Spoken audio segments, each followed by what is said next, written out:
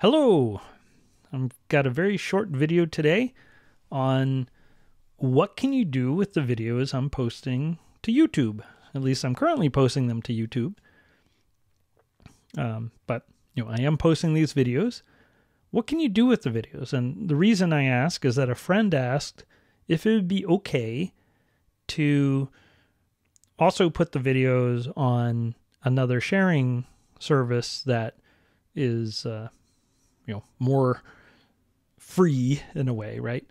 Um, or you know, could you put it on Internet Archive, or could you remix the videos? Could you take the transcripts and use the transcripts, whatever? And the answer is absolutely. You can do all those things as long as you follow the terms of the Creative Commons by license, which is an attribution license, which requires attribution. That means you have to say that, you know, William E. Byrd created the original version, you know, whatever. You have to attribute it. You know, this was the video, this was the title, this was the date.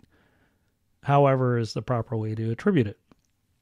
That's the license that all of these videos and everything I've made actually under YouTube falls under.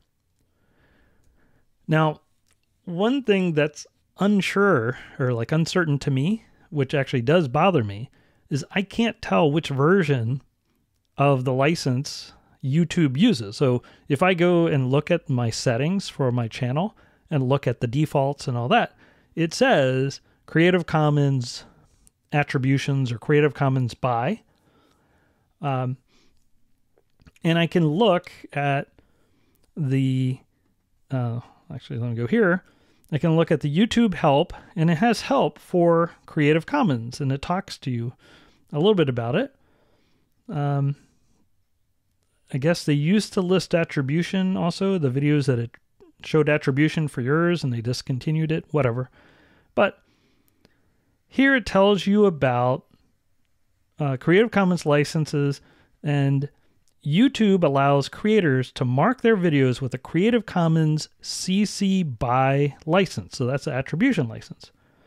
Okay, so that means as the creator, I retain the copyright to the videos. I'm the copyright holder.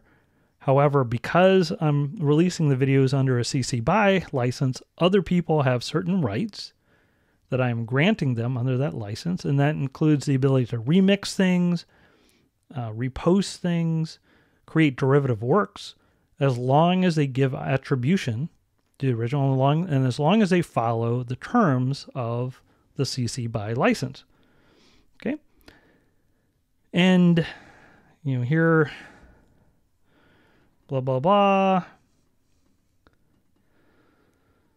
remains the default. So I change the default.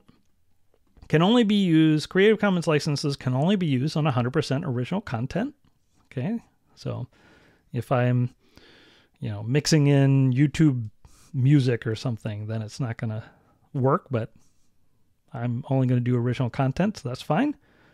And uh, by marking your original video with a Creative Commons license, you're granting the entire YouTube community the right to reuse and edit that video, and anyone else wants to, that's fine.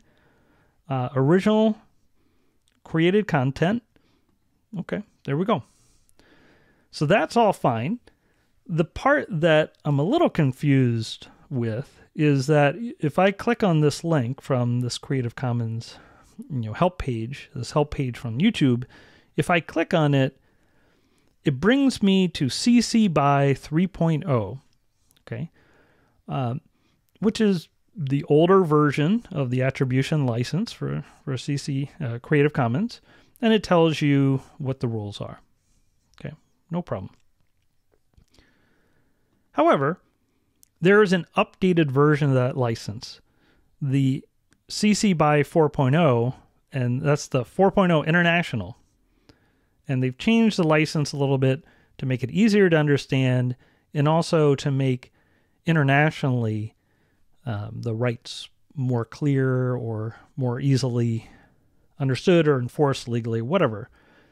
So the CC4, uh, CC BY 4.0 tells you you're allowed to share and adopt, adapt, remix, transform. You can copy or redistribute in any medium or any format for any purpose, even commercially. Okay. You can build upon the material for any purpose, even commercially. Um, the license licensor cannot revoke these freedoms as long as you follow the license terms. So I can't change. I can't say, "Oh, I'm removing that license. You're not allowed to do it anymore." Okay, it's like that's it. But you have to give appropriate credit. And why am I doing this? Well, I guess I live in an academic environment, right? And that's credit is what we give each other. It just it also just seems like common courtesy. Just seem common courtesy and also so people can find the original source.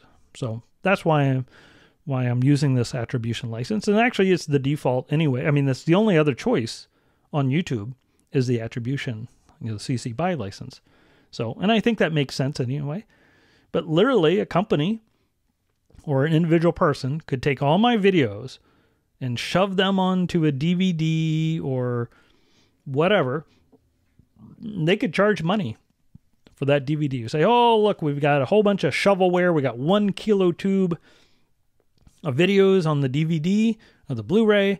You know, it's gonna we're gonna charge ten thousand dollars for one kilo tube of Scheme and miniKanren and Will's Rants. Okay, that's fine. It's perfectly allowed under license as long as it give me attribution and follow the other conditions of license. That's fine. Um, yeah. Now, the, the like I was saying, the thing that is a little unclear to me is when I choose or when I go to the YouTube page and I, I look at the settings and I can you know, either choose the standard YouTube license or I can st- uh, choose the Creative Commons BY license, the CC BY license. I don't see a version number.